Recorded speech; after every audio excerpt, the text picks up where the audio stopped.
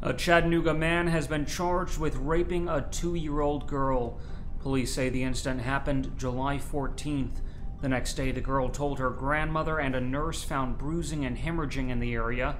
27 year old Michael Shelby Skellenger told police he was drunk at the time and he called himself a monster for committing the rape. The girl said Skellenger hit her when she began crying. Now he's in jail on a $300,000 bond.